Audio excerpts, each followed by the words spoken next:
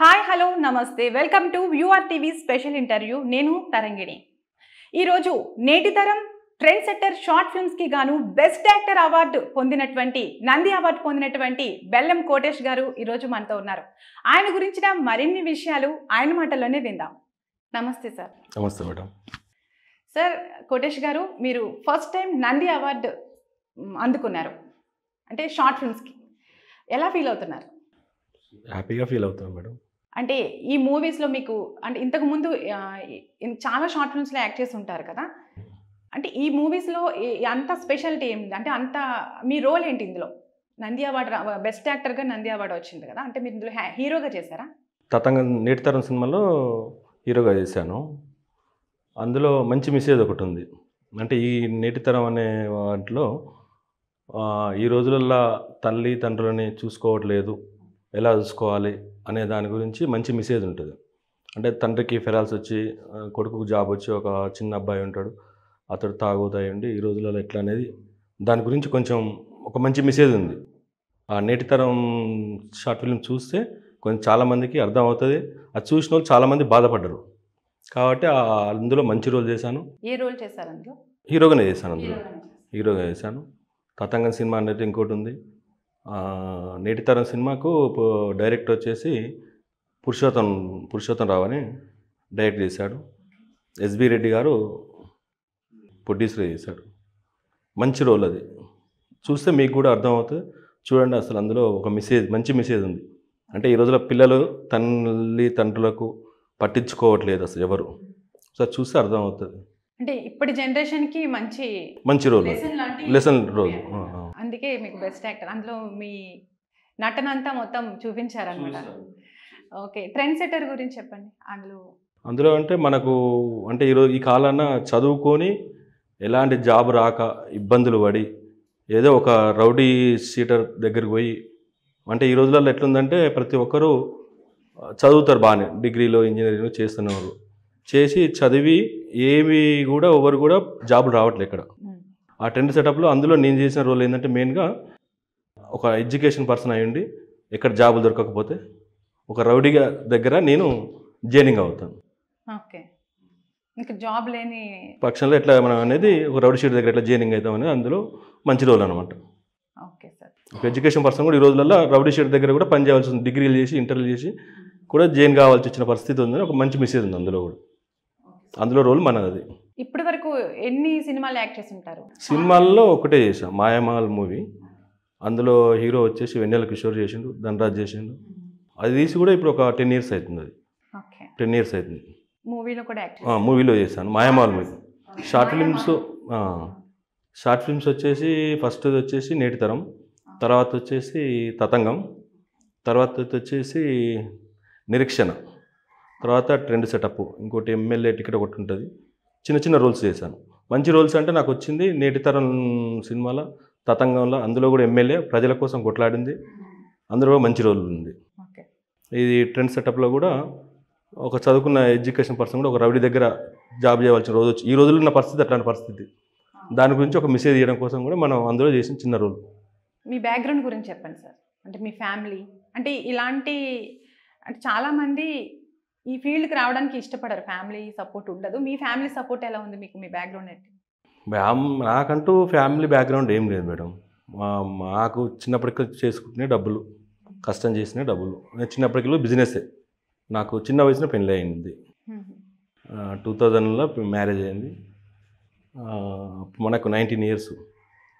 Tenth tenth అయ్యి ఇంటర్లోకి tenth pass అయినాక ఇంటర్లోకి పోయి జాయినింగ్ అయ్యి బంద్ చేసాం ఇంటర్లో. క్లోజ్ చేసేసుకుని అమ్మ వాళ్ళు ఉండి ఇక నాయన చనిపోయిండు అప్పుడు చిన్నప్పుడు చనిపోయిండు. అమ్మ వద్దని చెప్పి పెళ్ళి చేసేసింది.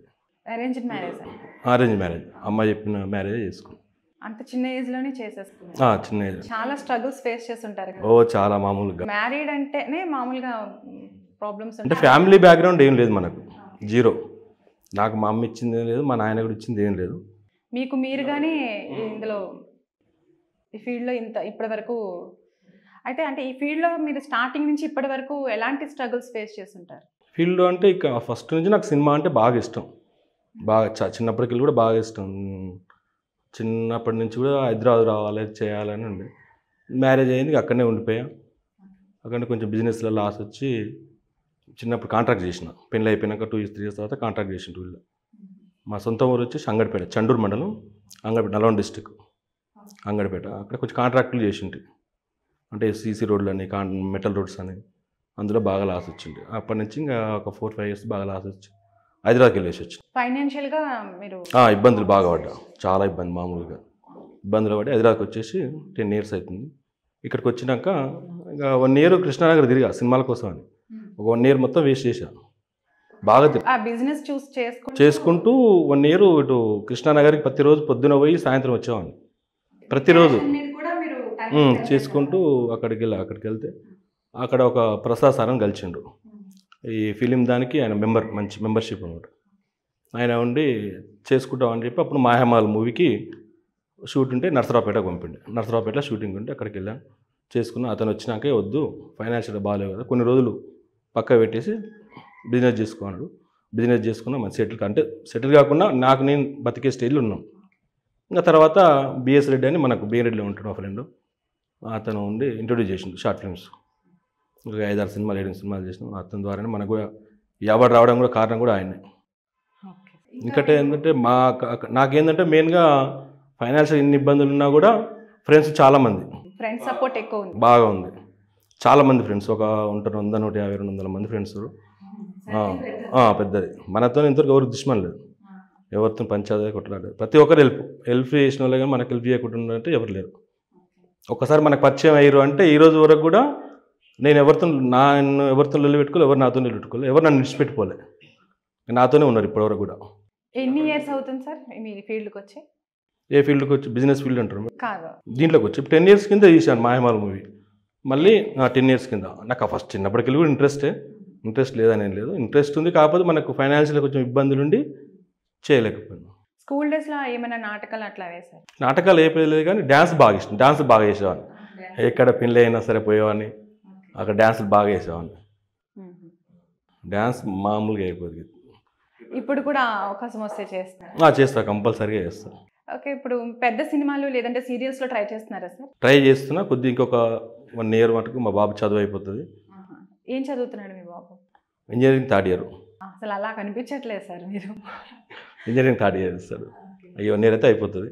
ఆయన బయటికి వెళ్ళిపోతే మనం ఫుల్ టైము సినిమాకే ఫుల్ టైం షార్ట్ ఫిల్మ్సే అనుకుంటున్నాను నెక్స్ట్ నెక్స్ట్ ఇంకా వన్ ఇయర్ తర్వాత అయితే టోటల్గా దాని మీదే ఫోకస్ పెడదామని చూస్తున్నాను ఓకే మీ ప్యాషన్కి న్యాయం చేద్దాం అనుకుంటున్నారు. ఫ్యాషన్ అనుకోవచ్చు లేకపోతే బాగా ఇంట్రెస్ట్ దాన్ని ఎట్లా అన్నా సరే అందులో మనం చేస్తూ సక్సెస్ కావాలి. మనతో పాటు ఇబ్బందుల పడ్డోళ్ళకు కూడా ఇలాంటి ఎవరు రాకుండా ముందు సినిమాల్లో ఛాయిస్ కానీ అవకాశాలు కానీ మా ఫ్రెండ్ బిఎస్ రెడ్డి గారు SBR movie creations YouTube channel open చేసిండు. దాంతోపాటు కొంచెం మనం కూడా కొంతమందికి అవకాశాలు ఇప్పటికి ఇప్పిస్తూనే ఉన్నాం పోతున్నాం ఎవరికి కావాలనో అడుగుతున్నాం ఇస్తున్నాం ఉన్నాం. కొత్తగా చేస్తాను ఇంట్రెస్ట్ ఉన్న వాళ్ళకి ఎవరికన్నా ఇప్పిస్తున్నాం. ఇప్పుడు నెక్స్ట్ ఏంటంటే అదే ఇంకా one year and half year తర్వాత చూసి అందరికి కొంచెం న్యాయం చేసి మనం కూడా అందులో ఉండి పది మందికి వెళ్ళిపోయాలని ఆలోచన. మంచి ఆలోచన సార్. మీరు చేసిన తక్కువ షార్ట్ ఫిల్మ్సే తక్కువే చేశారు. కానీ చా- అయితే మీరు చాలా త్వరగా తీసుకున్నారు. ఈ నంది అవార్డు అనేది ఎన్నో సినిమాలు చేస్తే ఎంతో కష్టపడితే కానీ ఎవరికి అమ్మా ఫౌండేషన్ వాళ్ళు జీ జీసీఎస్ వాళ్ళు శ్రీనివాస్ రా సార్ అని వాళ్ళ అమ్మది ఏదో మదర్స్ మదర్స్ డే రోజు వాళ్ళు గుర్తించి వాళ్ళు ఇంట్లో సంగతి అని చెప్తే మాకు ఆ రోజు వచ్చే పరిస్థితి కూడా లేకుండే. మా ఊళ్ళో పండగ ఉండే బొడ్రాయ పండుగ ఉండే. ఇంకా అనుకోకుండా రావాల్సి వచ్చింది కంపల్సరీగా సార్ ఉండి బిఎస్ రెడ్డి సార్ ఉండి. రా అంటే కంపల్సరీగా వచ్చి తీసుకుని వెళ్ళిపోయా రవీంద్ర భారతిలో ఇచ్చారు. చాలా హ్యాపీ ఫీల్ అయి ఉంటారు ఇది చాలా హ్యాపీ ఫీలింగ్. మా ఫ్రెండ్స్ అందరూ మంచిగా హ్యాపీ అయ్యారు. చాలామంది సంతోషపడ్డారు. మా వాళ్ళు కూడా ఫ్యామిలీ కూడా. మీ ఫ్రెండ్స్ అంతా కూడా బాగా హ్యాపీ హ్యాపీ హ్యాపీ. చాలామంది మెమొరబుల్ మూమెంట్ ఇది. మెమరబుల్. మర్చిపోలే మూమెంట్. మర్చిపోలేని విషయం ఇది. ఇంకా ఇలాంటివి ఇంకా ముందు ముందు మీరు చాలా సాధిస్తారు సార్ మీలో. సాధించాలి అనుకుంటున్నాం. అది ఓకే. మీకు మూవీస్లో యాక్ట్ చేయాలని ఉంది అన్నారు కదా మీ ఫేవరెట్ డైరెక్టర్ ఎవరు? నాకు రాజమౌళి అంటే బాగా ఇష్టం. రాజమౌళి ఇవి అంతకు ముందుకు అంటే రాఘవేంద్రరావు. రాఘవేంద్రరావు గారు. ఓకే. ఒకవేళ మీకు యాక్ట్ చేయాలని అంటే రాజమౌళి గారితోనే యాక్ట్ చేస్తారా? కంపల్సరీగా చేయాలనుకుంటున్నాం. చూస్తా ట్రై చేస్తా. కంపల్సరీ చేస్తా. ట్రై చేస్తున్నాం. చూస్తా. ఫ్యూచర్లో వస్తే చేయాలి. వస్తుందిలేండి. ఖచ్చితంగా. మీరు ఆ పట్టుదలతో ఉన్నారు ఖచ్చితంగా. కంపల్సరీగా చేయాలనుకుంటున్నాం. సార్ ఇప్పుడు మీ ఫ్యామిలీ గురించి తెలుసుకుందాం అనుకుంటున్నాం. మీ వైఫ్ గురించి చెప్పండి. మేడం ఏం చేస్తుంటారు? హౌస్ వైఫ్ ఇంటికాడనే ఉంటుంది మేడం. House wife. ఓకే. మీరు ఏం చదువుకున్నారు సార్? నేను టెన్త్ పాస్ అయినాక ఇంటర్ డిస్కనెక్ట్ చేశాను మేడం. ఇంటర్కి వెళ్దాం డిస్కనెక్ట్ చేసేసి అంతే వరకు. అంటే ఒక పక్క అంటే చాలా మంది డిగ్రీ చేసి కూడా చాలా ఇబ్బందులు పడుతూ ఉంటారు. చదువు చదువు ఉండి బ్యాక్గ్రౌండ్ ఉండి కూడా ఇబ్బంది పడుతున్నారు ఇప్పుడు. కానీ మీరు చాలా కష్టాలు పడి ఈ స్టేజ్కి వచ్చి ఉంటారు. ఓకే అయితే ఇప్పుడు మీ ఫ్యామిలీ గురించి అంటే మీ పిల్లలు. ఒకడే బాబు మేడం నాకు. ఒకడే బాబు. ఆ, ఒకడే బాబు. రీసెంట్గా ఒక వన్ ఇయర్ బ్యాక్ పాప వచ్చి చనిపోయింది. ఏమైంది సార్? కొంచెం హెల్త్ అంటే ఆమెకు హెల్త్ విశిస్తారు కొంచెం బీపీ షుగర్ అట్లాంటివి వచ్చి అటాక్ అయ్యి. రీసెంట్గా వన్ ఇయర్ బ్యాక్. తనకి ఏజ్ ఎంత సార్ అప్పుడు? ఓవర్ మా మిస్సెస్ గారు కండి. పాప పాప ఎయిట్ మంత్స్ ప్రెగ్నెన్సీలో ఉన్నప్పుడు చనిపోయింది. ఎయిట్ పుట్టినాక పుట్టాక చనిపోయింది ఎయిట్ మంత్స్లో. ఎయిట్ మంత్ ప్రెగ్నెంట్గా ఉన్నప్పుడే మీ మిస్సెస్కి షుగర్ బీపీ ఉంది? లేదు అప్పుడు లేకుండే ప్రెగ్నెన్సీ అయినాక వచ్చింది. అది ప్రెగ్నెన్సీలో వస్తుందంట చాలామందికి వచ్చింది. ఆ టైంలో పాప ఇప్పుడు చనిపోయింది. మీరు శ్రీనగర్కి ఈ అవకాశాల కోసం తిరిగి తిరిగానని చెప్పారు కదా? చాలా మంది దగ్గర తిరిగాం మేడం. ఆ, ఇప్పుడు ఎలాంటి స్ట్రగుల్స్ ఫేస్ చేశారు? స్ట్రగుల్ ఏంది మేడం పోయి పొద్దున పోయడం సాయంత్రం దాకా మధ్యాహ్నం దాకా అటు ఇటు తిరిగి ఆఫీస్ చుట్టూ ఈ ఆఫీస్ చుట్టూ తిరిగి తిరిగి ప్రతి ఒక్కరి దగ్గర పోయి ఛాయిస్ ఇస్తాం చూస్తాం ఫోన్ నెంబర్ తీసుకొని ఫోన్ చేస్తాను కొంతమంది. తిరిగాం ప్రతి ఒక్కరి దగ్గర చాలా మంది దగ్గర తిరిగాం. ఎవరు చూడు ఇస్తాం ఇస్తాం ఇస్తాం అనే వాళ్ళు కానీ ఎవరు ఒక ప్రసాద్ సార్ అని ఉండే. ఈ మహామావుల మూవీకి ప్రొడ్యూసరా లేదా ఆయన ఏదో సహాయ ప్రొడ్యూసర్ ఏదో ఉండు. అతను ఉండి చెప్తే సుధాకర్ సార్ అని ఉండే డైరెక్టర్. మాయమాల్ మూవీకి సుధాకర్ సార్ అని ఉండే. అందులో చిన్న రోల్ ఇచ్చిండే మాయమాల్. నసరావుపేట షూటింగ్ ఉంది అక్కడికి వెళ్ళిపో. చేసేసుకోమ్మా అన్నాడు. ఫస్ట్ మూవీ అది ఇక నాకు. కెమెరా ఫస్ట్ పెట్టిన షూట్ అదే. ఏంటి సార్ అది మాయా మహల్ మాయమహల్ ఫస్ట్. మస్ట్ వచ్చిన ప్రతి చిన్న అవకాశాన్ని ఉపయోగించుకున్నారు. కంపల్సరీగా. టైం ఉంటే కంపల్సరీ పోయేవాడిని మేడం ఎందుకంటే నాకు ఫైనాన్షియల్ కరెక్ట్ లేం కదా మనం. కొంచెం సెటిల్ అయినాం కదా దాకా మాత్రం చేయాల్సి వస్తుంది. అనుకుని అటు చూసుకుంటూ ఇటు చూసుకుంటూ చూసుకునేవాడిని. ఎందుకంటే బాబు స్టడీ ఇంటికాడ ఖర్చులు మళ్ళీ మనకు పర్సనల్గా ఉన్న ప్రాబ్లమ్స్. ఎందుకంటే ఆ ఊరికి వెళ్ళి వచ్చినప్పుడు మనం మొత్తం లాస్ అయ్యి వచ్చినాం ఇక్కడికి. ఫైనాన్షియల్ లాస్ అయ్యి వచ్చినాం. ఎందుకంటే కాంట్రాక్ట్లు చేసి. ఫైనాన్షియల్గా బాగాలేకుండే. ఇక్కడికి వచ్చినాక కూడా మనకి ఎందుకంటే ఫైనాన్స్ సపోర్టింగ్ కూడా బయటికి వెళ్ళి లేదు. మాకు తెలిసిన సారే ఉండే ఒక అతను అనంత్ కుమార్ అని. ఆయన కొంచెం హెల్ప్ చేసేవాడు ప్రతిసారి. ఏ- ఇప్పటివరకు కూడా ఆయన హెల్ప్ చేసేవాడు. ఫ్రెండ్స్ సపోర్ట్తోని ఫుల్ ఫుల్ సపోర్ట్ ఫ్రెండ్స్ చాలామంది మస్తు ఫుల్ సపోర్ట్ అంటే చిన్నప్పుడే మీకు ఫాదర్ లేరు అని చెప్పారు కదా. అంటే ఎయిట్ నైన్ ఇయర్స్ ఉన్నప్పుడు చనిపోయాడు. అప్పుడు మీ మదర్ మిమ్మల్ని మాదరే మొత్తం ఆ ఊళ్ళో కూరగాయలు అమ్ముతూ ఆమె చదివించేది సింగిల్ పేరెంట్గా మిమ్మల్ని ఇంతగా. మా బ్రదర్ ఉండు ఇద్దరు సిస్టర్స్ ఇద్దరు అక్కడ చిన్న వాళ్ళ పెళ్ళిళ్ళు అయిపోయినాయి. ఆ ముగ్గురు పెళ్ళి ఇద్దరు సిస్టర్స్ వాళ్ళందరినీ కూడా మీ మదరే సింగిల్ పేరెంట్ కాదు లేదు. అన్నయ్య పెళ్ళి అయినాక ఉన్నాను ఆహా. అన్నయ్య పెళ్ళి అయిన వరకు ఉండు అన్నయ్య పెళ్ళిన తర్వాత నా ఒక్క పెళ్ళే కాలేదు అంతే ఆయన చేతులు. ముగ్గురు అయినాయి వాళ్ళు. ఇంకా మదర్ అంటే అదే మేడం చెప్పాను కదా. నాయ చనిపోయినా కానీ ఆమె మొత్తం ఏదున్నా చూసుకుంటూ చదివించడం ఆమె చిన్నప్పటికెళ్ళి. చాలా కష్టపడి చదివించిన ఆమె చిన్నప్పటికెళ్ళి. చాలా గ్రేట్. మీ మదర్ చాలా గ్రేట్ ఇప్పుడు ఉన్నారా సార్? లేదు మేడం చనిపోయింది. ఎయిట్ మంత్స్ అవుతుంది ఎయిట్ మంత్స్ రీసెంట్. రీసెంట్గా. ఓకే సార్ ఇప్పుడు మీరు చాలా మీరు యాక్ట్ చేసిన ఈ షార్ట్ ఫిల్మ్స్ కానీ మూవీస్ కానీ మీకు ఇష్టమైనది ఏంటి? నేటితరం. నీటితర మూవీ అంటే ఇష్టం. తతంగా నేటి తరం మంచి movie. మంచి రోల్స్. అంటే అందులో మెసేజ్ మెయిన్గా ప్రతి ఒక్కరికి ఎట్లా అంటే. తల్లిదండ్రులను ఎట్లా చూసుకోవాలి? అంటే తా- తాను పడే స్ట్రగుల్ తల్లి తండ్రి పడే స్ట్రగుల్స్ పిల్లల్లో దాన్ని ఎట్లా ఇబ్బంది పెడతారు అనేది పెట్టొద్దు అనే దాని గురించి. ఇంకా జాబ్ వచ్చి వెళ్ళిపోతారు. చిన్నోడు మంచోడు కాదు. ఆ ఇబ్బందులు ఎదుర్కొంటే తల్లిదండ్రులకు వచ్చే ప్రాబ్లమ్స్ ఏంది? వాళ్ళు చెప్పినట్టుని వాళ్ళు చెప్పిన వాళ్ళని పెళ్ళి చేసుకుంటే బాగుంటుందని. లైఫ్ గురించి వాళ్ళు కూడా ఇంట్రెస్ట్ తీసుకుంటారు కాబట్టి వాళ్ళు చెప్పింది వినాలండి వినకపోతే అందులో ఆ తండ్రికి ఫెరాల్స్ వచ్చి ఇబ్బంది పడతారు దాని గురించి. ఈ నేటి తరంలో. Message message. మీకు ఒక ఇప్పుడు మంచి రాజమౌళి గారే పిలిచి మీకు అవకాశం ఇస్తే. ఎలాంటి రోల్ అంటే మీకు ఒక డ్రీమ్ రోల్ ఉంటుంది కదా ఒక విలన్గా చేయాలి లేదా కమీడియన్గా చేయాలని. అలాంటి రోల్ ఏమైనా ఉందా సార్? విలన్గా చేయాలని ఉంది. ఒక మంచి రోజు వస్తే రాజమౌళి దగ్గర చేయాలనుకుంది. ఇక్కడైతే విలన్గా చేయాలని ఎందుకంటే అతని సినిమాల్లో హీరో కన్నా విలన్కే ఎక్కువ వాల్యూ ఉంటుంది. సార్ మీరు ఈ ఫీల్డ్లో ఎంత సక్సెస్ అయ్యారు అంటే ఖచ్చితంగా మీ వైఫ్ సపోర్ట్ కూడా ఉంటుంది కదా. ఆమె ఎట్లా సపోర్ట్ చేస్తారు? ఆమె ఏ రోజు కూడా ఎందుకు పోతున్నావు అని అడగదు. చేస్తా అంటే చేయమని ఉంటుంది. ఎప్పుడు వద్దని చెప్పదు. ఎందుకంటే ఆమె మా అమ్మ తర్వాత కూడా అమ్మ కన్నా మంచిగా చూసుకుంటుంది ఆ విషయంలో. ప్రతి విషయంలో నాకు బాగా చూసుకుంటుంది. అంటే ఇప్పుడు మీరు షూట్స్ లేట్ అయ్యి ఒక్కోసారి ఇంటికి వెళ్ళడానికి అది అవ్వకపోయినా కూడా ఆమె ఏ ఉండదు.